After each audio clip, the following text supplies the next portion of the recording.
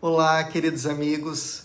Hoje iremos refletir sobre a esperança de dias melhores. O filósofo Bauman afirma que, apesar do horizonte sombrio que estamos vivendo, o que nos mantém vivos é a imortalidade da esperança. Construir o novo é o nosso desafio.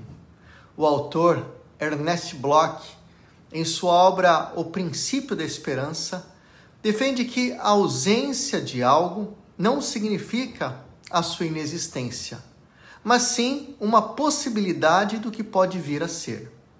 Ter esperança no âmbito filosófico é acreditar que algo pode se realizar. O filósofo Heráclito de Éfeso, na Grécia Antiga, dizia: se não se espera, não se encontrará o inesperado.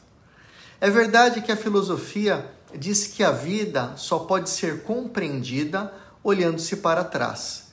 No entanto, ela só pode ser vivida olhando-se para frente, tendo sonhos e expectativas, criando oportunidades e espaço para o novo, para a realização de projetos, não se prendendo à escuridão que cega os olhos. Ter esperança é acreditar no impossível.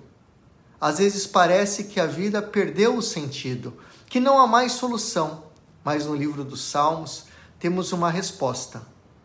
Por que estás abatida, ó minha alma? E por que te perturbas dentro de mim? Espere em Deus e o louve, pois Ele é o teu socorro e nele está a tua resposta.